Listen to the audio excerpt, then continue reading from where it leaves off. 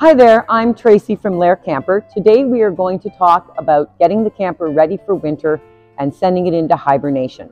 The first thing we need to do is disconnect our battery. Number one will be to reach into the camper's front passenger seat storage area and turn the battery disconnect switch into the off position. Okay, so the battery disconnect switch is off. Now we're going to disconnect the battery itself. For safety, you're always going to start with your negative side.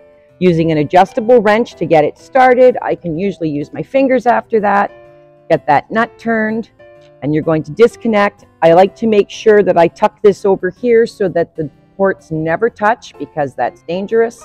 The other thing we're gonna do right away is get that nut back onto the post so that we don't lose it. Now we're going to do the same thing with our positive connection. Off comes the nut. And back on it goes. So we know where it is when it's time to reconnect. Okay. And then we're just going to lift it out just like so.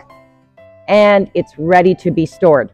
Best place to put your battery for the winter is somewhere warm and cozy like a basement or a garage.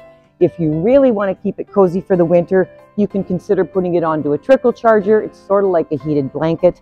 It'll keep it all set to go for the spring and your next adventure.